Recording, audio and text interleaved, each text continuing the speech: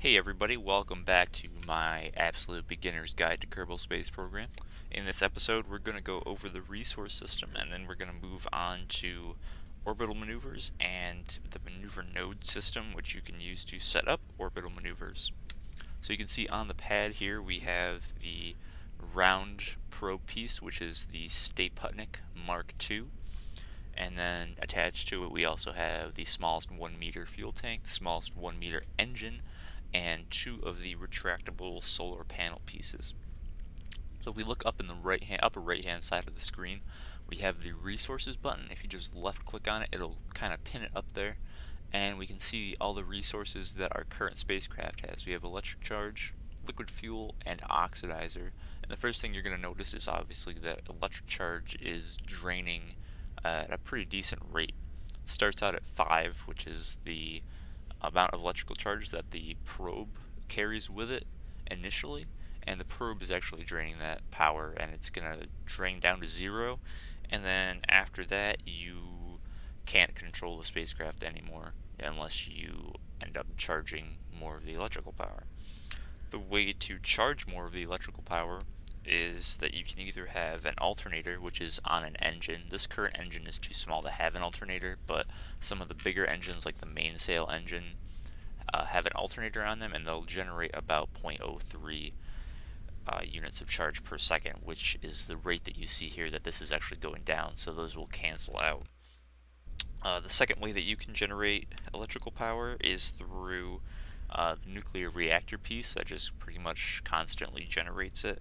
And you can also generate it through the solar panels like the ones that I have on here. So if we right click on the solar panel, you can see that we have zero sun exposure, zero energy flow. That's because we don't have the solar panel extended. So we're going to left click to extend it and it's going to just do the little animation to extend it out and then if we look up here we'll see that this rate is now negative and the electrical charge is charging back up.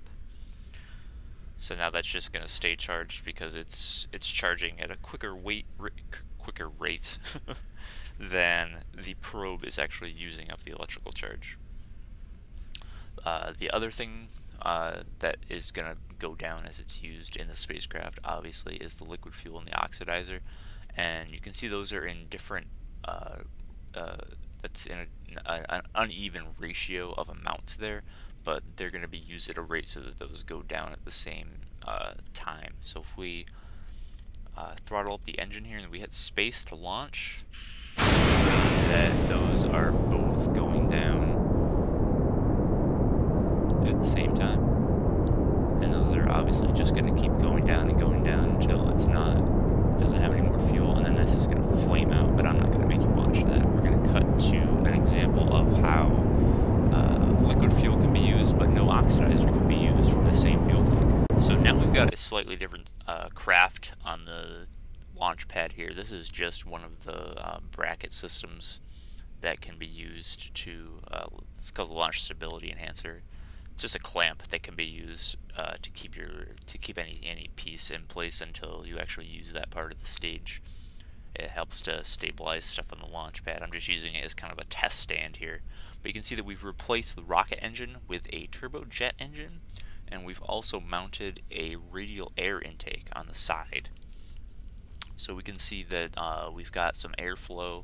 That's this. I think this is just the basic amount of airflow that goes by it. This is going to show you how much drag is uh, going it, that it's introducing to the craft. And then we also have uh, a new resource up in the resource box, which is intake air. That's going to show you how much intake air is flowing past that intake. So if we if we throttle this up and long and hit the uh, the spacecraft button, or the the spacecraft button, the staging button, which is spacebar, to uh, start the engine, you can see that this is using liquid fuel, but it's not using any oxidizer. We can also see that it's flipping out right now because it is, you can see that what's flashing on here, it's intake air deprived. Doesn't have enough intake air coming into the intake to actually keep the engine going consistently, and it's just, you know, flaming out. So if we hit spacebar, this is going to release this clamp, and we can see that it's gonna not flame out as much, except when air stops flowing, and we're gonna crash. but as long as you keep the, uh, the craft moving quickly enough to keep air going through that air there that air intake, then it's not going to flame out. Uh, the the only time that you really have to worry about flaming out is when you're doing a turn away from the direction of the airflow, and it introduces a whole bunch of problems because you're going to start spinning out, and one engine will be flamed out, and the other one won't be flamed out, and it's just a crazy mess. But uh, I'm going to cut to orbit right now, and we'll start going over the orbital systems. Okay, so we're up here in a low Kerbin orbit. If we hit the map view, we'll see that it's about a 100 kilometer orbit. Uh, this is pretty much where we left off in the part 2 video, except that you'll notice that on this spacecraft we have a little fuel tank here. This is actually an RCS fuel tank, and the spacecraft is also surrounded by these RCS thruster blocks, which are a way to use the RCS fuel.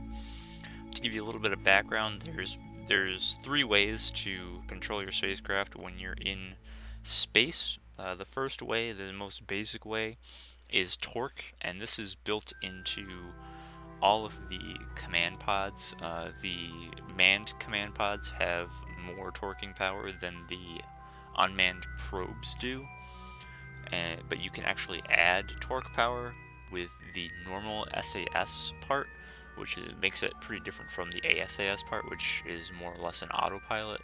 The SAS part uh, really just adds torquing power to your spacecraft. Uh, the other way to control your spacecraft is RCS, and RCS is more or less just gas that comes out of these little thruster blocks. So that's what the RCS monopropellant fuel is. And uh, RCS stands for Reaction Control System. So if we hit R to enable RCS, and then we use the rotation keys, WSAD, you can see that it's firing these little jets of air and they just come out of the spacecraft and they rotate you around and it, it, works a lot faster than say we hit R and then we do the same thing. This is how slow it goes when we don't use the RCS.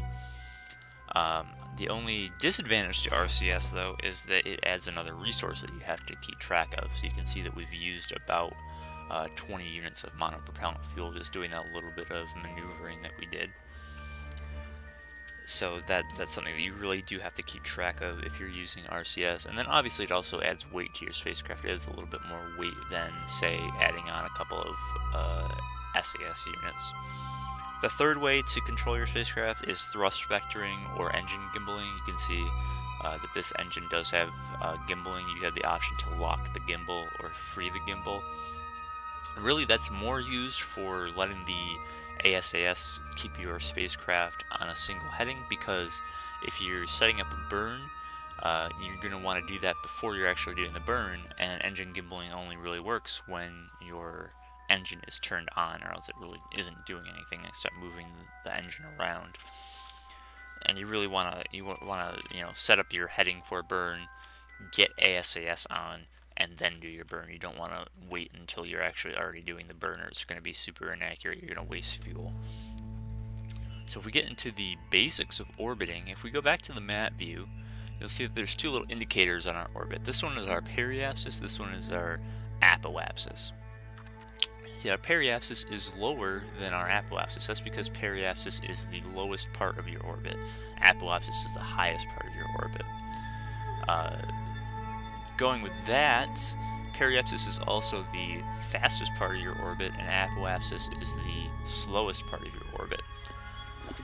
That's because uh, your, your total energy, the total energy of your spacecraft, in lieu of having any external forces like aerodynamic drag or your engine uh, firing, uh, the total amount of energy your spacecraft has is going to stay constant. So as you gain altitude, you're going to be gaining uh, gravitational potential energy at the expense of kinetic energy. So when you go up to apoapsis, your altitude is going to increase, but your speed is going to go down. When you when you fall back down to periapsis, your speed is going to increase, but your gravitational potential energy is going to decrease. The only way to change that, really, is either to uh, be caught in the atmosphere of a planet, which is more or less aero braking, that's just going to slow you down, or you can do a burn with your engine and use up that fuel. That's called delta V. That's going to give you a change in velocity at any given point in your orbit. So the more fuel bring up, the more fuel that you bring up, the more delta V that you're going to have to work with to change the characteristics of your orbit. And there's more or less three ways that you can change the characteristics of your orbit. You can do a prograde burn, a, a prograde or a retrograde burn, which is the same direction that you're facing or the opposite, or the same direction that you're traveling, or the opposite direction that you're traveling. And that's what we've already gone over. These are these those are these indicators on the nav ball here. This is prograde, and then the, on the opposite side is retrograde. Uh, the other ways that you can burn are radially, which is in towards the center of your orbit or out towards the outside of your orbit, or normal anti-normal, which is um, directly up or directly down. Uh, and the best way to illustrate this is actually to bring up the maneuver node system. So we're gonna, if you click anywhere on your orbit, you're going to see this little ball. So if you left click, it's going to say add maneuver. You add maneuver, and it pops up this little indicator. We already know these symbols. This is retrograde and prograde. That's the opposite direction you're traveling and the direction that you're traveling. This is radial. This is facing directly out from your orbit and then directly in towards the center of your orbit. And then this is normal and anti-normal, which is directly up at a 90 degree angle and directly down at a 90 degree angle if we use the left mouse button to kind of tug on these, it'll the, the dotted line will show you what's going to happen if you do a burn in that direction.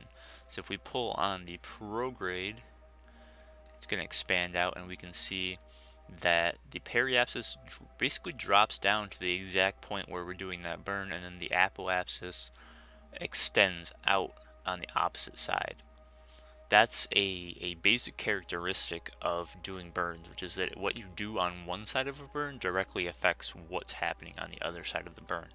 So, or on the other side of the orbit, rather. So if you're going to do a burn at your periapsis, that's going to increase or decrease your, your apoapsis. If you do a burn at your apoapsis, that's going to increase or decrease your periapsis. So if we do a retrograde burn and kind of bring that back down to where it is, right now. If we do, you can see if we do a radial burn inside, that's kind of going to translate the orbit over. So it's going to move this orbit from here pretty much, if we orient it this way, it's going to pretty much just move it over to the left. So the periapsis is going to decrease and the apoapsis is going to increase. It's going to do the opposite of that, obviously, if you, whoops, I just got rid of my maneuver node there. It's to do the opposite of that if you do it the opposite way. The peri or the the uh, oops. Let me just adjust this a little bit.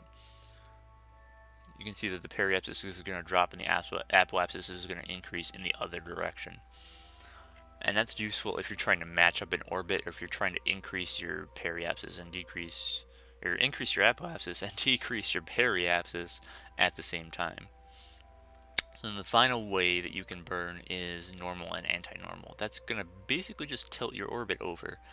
The You can see right now we're in basically an equatorial orbit. We're going directly around the equator of the planet Kerbin. But then if we do a normal burn at this point, it's just going to tilt it and rotate it around that point. The, the angle between uh, basically this zero degree orbit and whatever your orbit is is called your inclination and if you're say doing a rendezvous or if you're going to be doing a transfer between your orbit and another, and another orbit that is tilted then you're going to want to do a, a normal or an anti-normal burn to change your inclination to the inclination that matches up with whatever orbit you're trying to go to or else you're not actually going to meet whatever you're trying to rendezvous with. So if you want to get rid of a new maneuver node, say you've already used it or you decided that you don't want to use um, or you don't want to use it at all, then you can just left click on it and then hit the little X and that'll get rid of it. Um, what I'm going to do here though is we're going to set up a maneuver node way over here on the apoapsis. Left click, left click, and then we're going to do a prograde burn. See that's going to go out and increase our That's actually going to flip our orbit around a little bit, but it's going to it's going to turn our apoapsis into our periapsis, and it's going to increase our apoapsis. So we're just going to keep burning out and burning out by tugging on that, and then we're going to left click and kind of finalize that um, that maneuver node. Now if we hit M and we rotate our nav ball around, we're going to see a blue icon on the nav ball. That's going to be the heading that you want to keep when you're doing when you're making your maneuver node burn that you just set up. So if you rotate around to that and you hit T, that will pretty much keep make sure that you keep on that heading for when you actually do your the burn that you set up. So if we hit T here, that's going to keep us on a heading that matches up with where we're going to want to be when we burn. And you can see that it's added all this information now on our uh, side of our nav ball that tells us um, you know how the burn is going to go basically. So it says that the maneuver node is in about 11 minutes and 30 seconds. That the estimated burn time is 9 seconds. That means that when the engine that we have with the mass that we have um, is at full throttle, it's going to be about a 9 second burn. So it's going to be a little bit longer than that because you got to take the time to throttle up, but it's going to be about a 9 second burn. And then this tells you the delta V that you need to actually achieve this orbit that you set up. So it tells us that we have a delta V of about 550 meters per second. So if we go switch back to the map view and time accelerate around our orbit, we're going to wait until we're just about ready, and you can see that we can't warp any faster, but we're going to wait until we're just about ready to hit that maneuver node, which is right about there and you can see that the S or the ASAS has kept us on just about the same heading that we need to be at to do that maneuver node. Considering that burn is about 9 seconds, what I like to do is kind of straddle the, the, the node on either side. So we're going to want to start our burn at about 4 seconds, and then it'll end at about 4 seconds after the node. So we're going to start burning right about now can see that that's going down. We're going to want to stop our burn by hitting X right about when it goes down to zero. And you can see that the, the blue indicator kind of crept off. That'll update pretty much instantaneously to show you what uh, corrections you need to make to your burn to achieve exactly what you what you've planned. But now you can see that our burn is pretty much exactly what we planned out. Our uh, we our our orbit has a high eccentricity now. I don't have MechJeb uh, to tell uh, what the orbital characteristics are. Um, if you have the MechJeb mod and you install that, it will actually tell you all the detailed characteristics of your eccentricity. But basically, the, the smaller your eccentricity is, the more circular your orbit is, and the larger it is, the more uh, elliptical your orbit is. So you can see that now our periapsis is still about 100,000 meters because that was what our circular orbit was, but now our apoapsis is about 1.8 million meters. But you can see it's it's still not quite far enough to go out to the, the moon, but um, if we, I'm just going to show you what happens. If we keep burning, we're just going to basically keep extending that apoapsis out until we achieve escape velocity, which is right there. So now you can see that we're in an escape trajectory from the planet Kerbin. We'll, we'll escape its sphere of influence, which is the point at which we stop being controlled by its gravity. That's in about one day, 17 hours, and 6 minutes. And that's that's going to be a uh, hyperbolic or a parabolic orbit as opposed to an elliptical or a circular orbit. And if we just time accelerated, eventually we're going to be on this uh, this little orange or, or yellow orbit that's that's now uh, centered on the sun rather than the planet Kerbin. Sun periapsis is, is going to be uh, about 11 billion miles or uh, 11 billion meters rather. So now basically we have all the tools that we need to be able to uh, do pretty much anything that we want to do in Kerbal Space Program. So in the next video I'm going to show you um, some of the basics of doing transfers between two different planets and uh, using the maneuver node system and all the parts and everything to set that up. Thanks for watching. Bye.